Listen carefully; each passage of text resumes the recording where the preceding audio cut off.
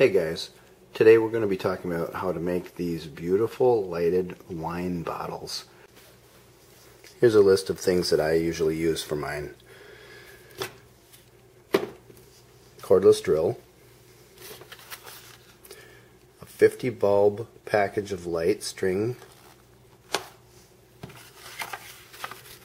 3 8 inch grommets, which I've gotten at the hardware store. Razor blade scraper.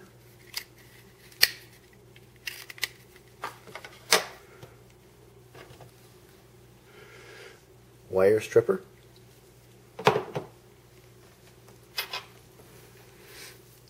These fluted glass um, diamond coated cutting bits.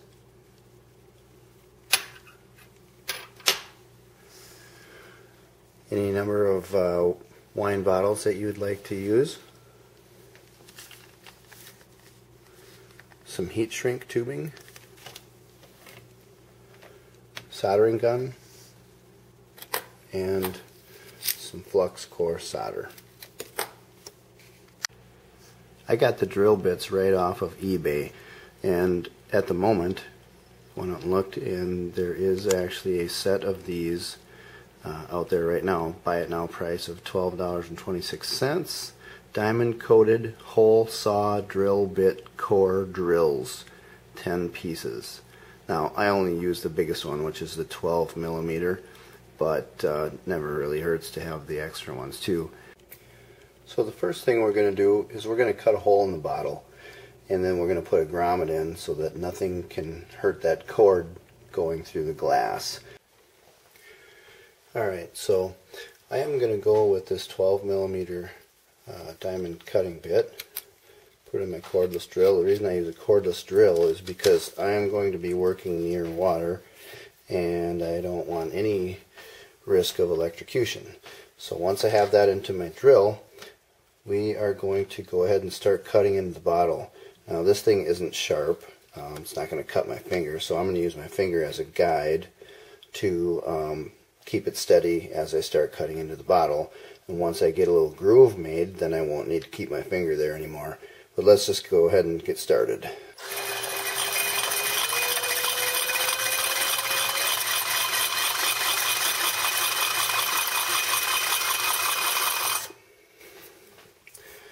Got a little bit of a start going there.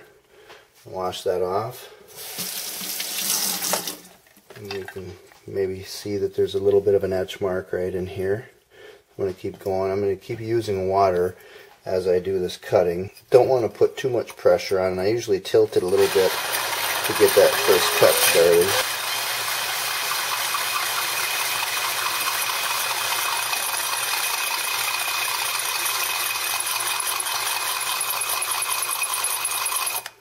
Not the most pleasant noise. Like to keep washing it too. Usually want to keep it a little bit wet so that um, that cutting bit doesn't get too hot.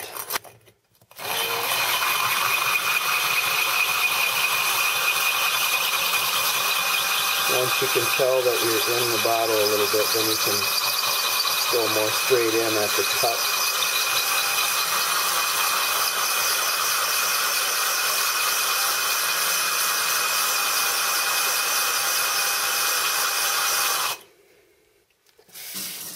to get a little bit milky.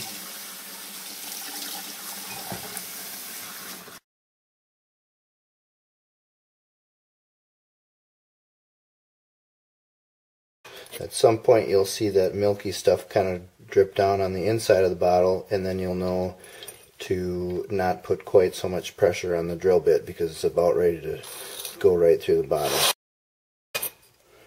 So now I'm through and I can see that milky stuff on the inside of the bottle now. So I know that don't push too hard or you might end up with some messy glass inside there. And we're through. So now I'm going to get that uh, little piece of glass out of there and just dump it out. Um, and then I will run some water through there. You can see a few broken pieces of glass, so be careful. Um, I'm going to run some water through there just to get all of the glass pieces out. And my glass bottle with the hole.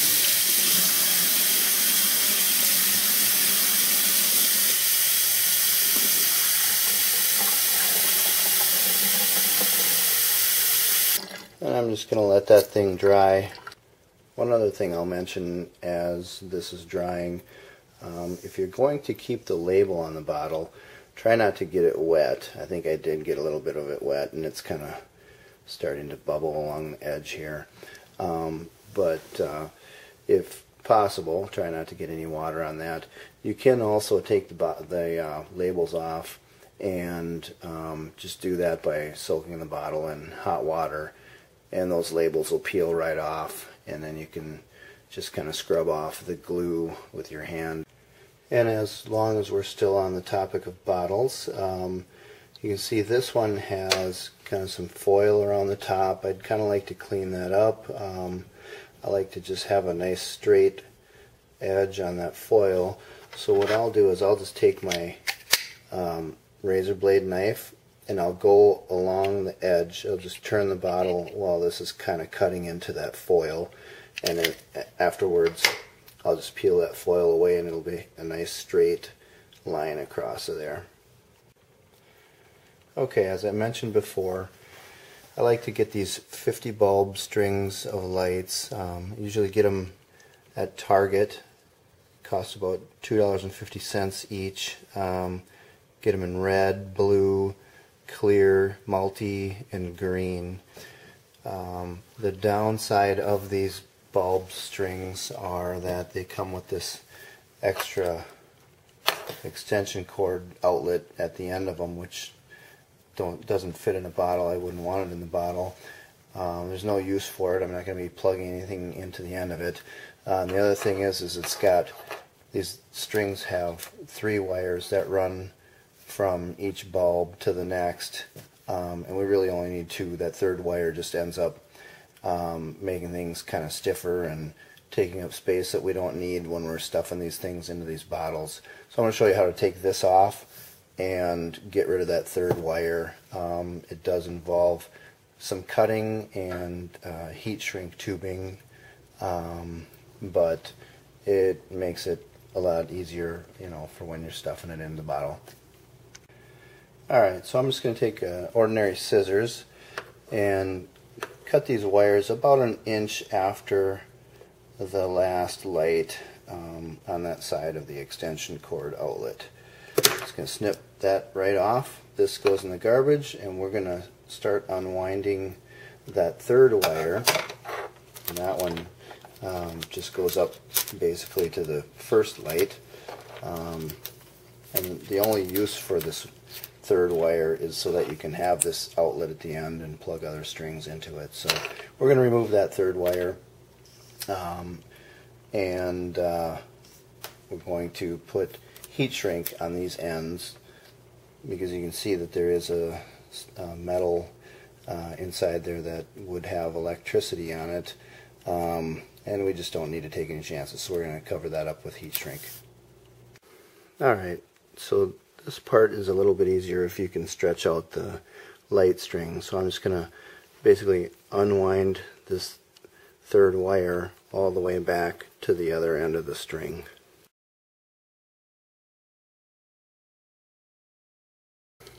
Okay, so now you can see we have the part of the cord that you plug into the outlet.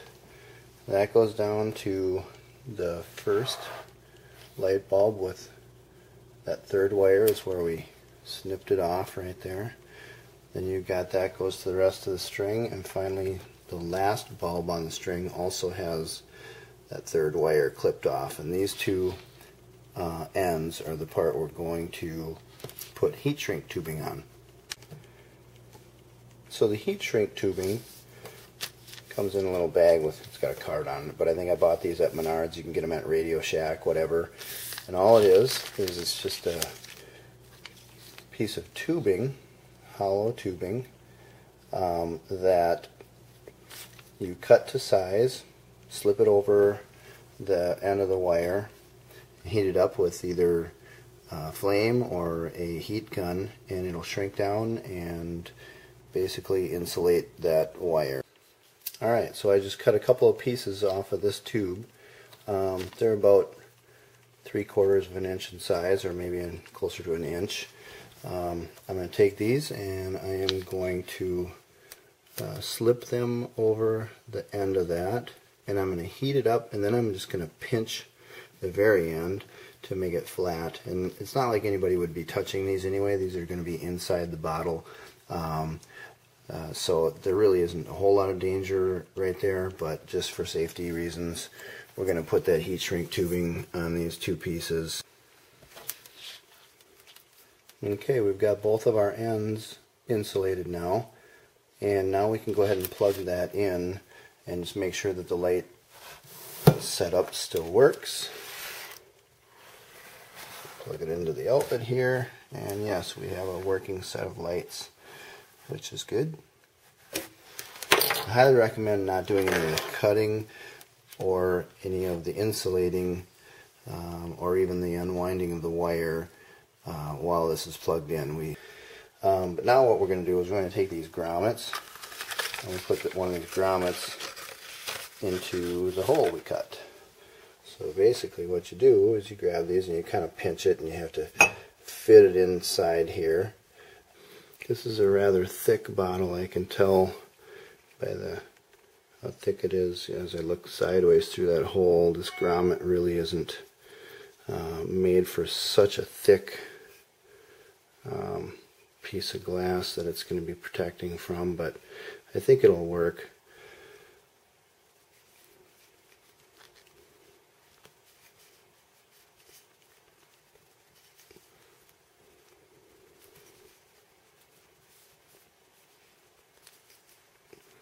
They are a bit stubborn. Alright, I grabbed a little bamboo stick here. We're going to just try and help it in with the um, blunt end of this stick. Alright, so when you get it to this point, then I usually just take a pencil and stick it in there and see if I can just kind of get it to sit a little bit better around the edges. This one's being a little bit difficult with the thickness of the bottle here. Alright, so with the help of that pencil and my bamboo stick, I was able to get this thing nice and round in there. Um, all the edges um, are through and looking the way a grommet should. Alright, so the next thing I'll be doing is I will actually be cutting this cord off relatively close to that first light bulb on the string and then I'm going to feed that cord up through here out the top of the bottle and then I'm going to solder and heat shrink those connections as well and then I'll just pull everything down into the bottle so it's nice and clean. Okay, so now you can see I've got plenty of slack to go all the way up through this thing, this uh, grommet, up through the bottle and come out and still be able to attach it to the other side. So I'm going to cut it right about here because um, I want to leave a little bit of room between the light. Alright, so I will cut it right about here. And I'm going to feed this end of the outlet plug in through the grommet. Just feed it all in. It's going to come out this end and then we'll deal with it at that point. Alright, I've got it all fed in there and it's curled up inside there so I'm going to need to reach in with a piece of paper clip or something to pull that out. Sometimes just by shaking the bottle that wire will come down through the neck but it doesn't appear so this time so I'm just going to reach in there with a paper clip and pull that out. So I've made kind of a hook with a paper clip. I unbent it. Um, I'm going to go see if I can do some fishing here. So stick it in here, grab my end, pull it out, and that is what we want it to look like at this point. Alright, so now we've got these two ends of snipped wires. We just need to connect them back up and pull or push the lights into the bottle. So I am going to uh, strip a little bit of insulation off of each of these wires. Then we're going to solder them, up. We'll, we'll tin them first and then uh, solder them together and put the heat shrink on. Um, remember to put the heat shrink tubing on before you start soldering um, so that you can just slide it up and heat it up and cover up that soldered area. Okay, I've cut my heat shrink tubing. I'm going to slide those onto these wires, but before I do, I'm going to tie a knot in these wires right about here to prevent them from coming out any further than that grommet inside there. Just so that if someone pulls on the cord, it's not going to start trying to pull these soldered connections out of the hole.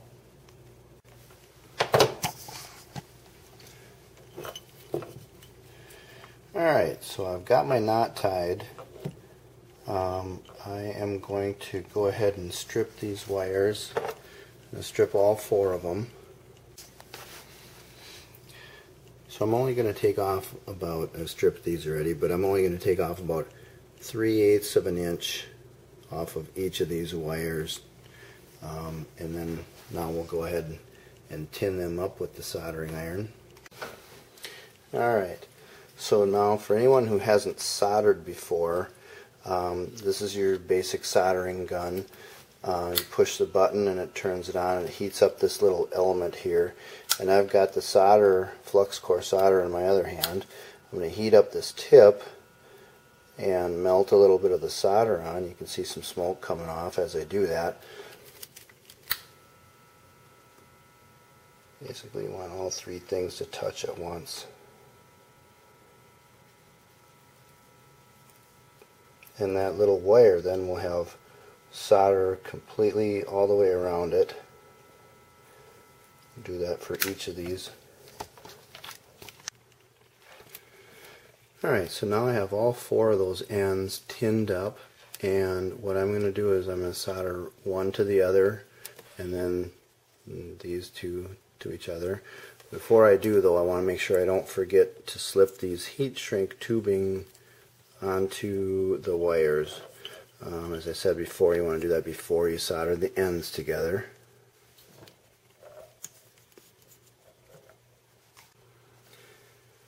Alright, so I've got both of those slid up here onto the wires now. Now I'm just going to kind of do the same thing as when I tinned the wires, but I'm going to hold these, um, thank you light bulb for being in the way, uh, I'm going to hold these two wires so that they touch and I'm going to heat them up and then they'll stick together and I'll slide that heat shrink tubing down to cover it up and heat that up and then there will be no electrical wire uh, showing. Alright, so here we go. Let's give this a try. Like I said before, I'm just going to hold them both together and heat them both up.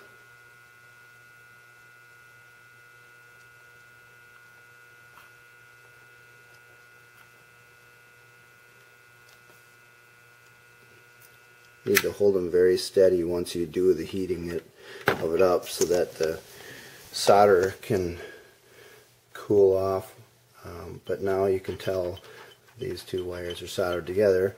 Again I'll slide this heat shrink tubing up to cover that solder joint. I'll heat it up. In fact let's just go ahead and do that right now. And that connection is done. I'll do the other one and we can start stuffing those lights down into the bottle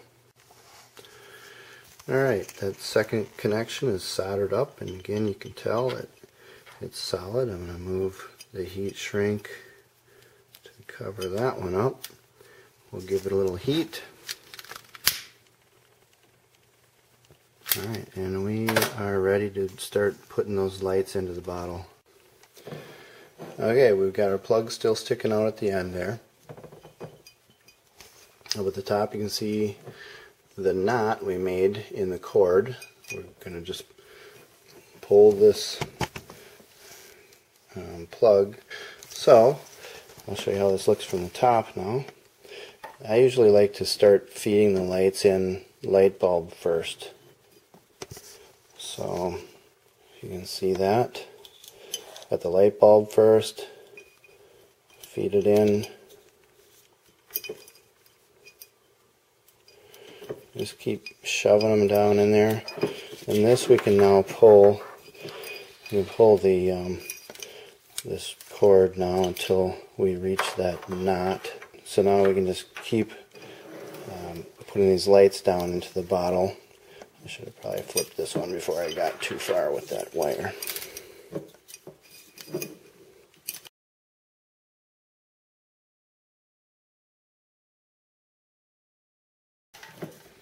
You may get to a point where it seems like they don't want to stuff in anymore. And when you do, usually they're all kind of bunched up at the top part of the bottle and, and not too many down at the bottom. So I, you can just go ahead and give it a couple of shakes and that'll kind of move those lights down a little bit and you'll again have some more room to be feeding this stuff in. Get the last two in here. This last one I'll feed in bottom side first. Alright, and why don't we give it a test. Well, there you have it. I am going to pull these labels off um, just you know, because uh, they cover up too much of the area. Um, I'm not a big fan of these twist off bottles. Some of them are pretty neat though, like this this frosted one is a twist off as well. Um, so I'll probably use that. This one though, um, you know, we probably could have gone with a different bottle, one that wasn't a twist off. Uh, might not be a big deal to most people.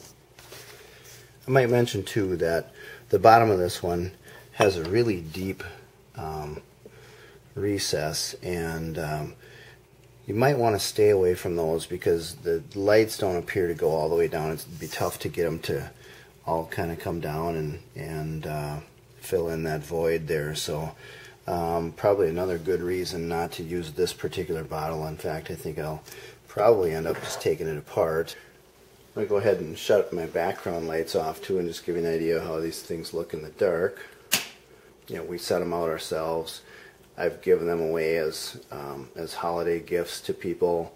Uh, you could go ahead and sell them if you wanted to make them and, and sell them.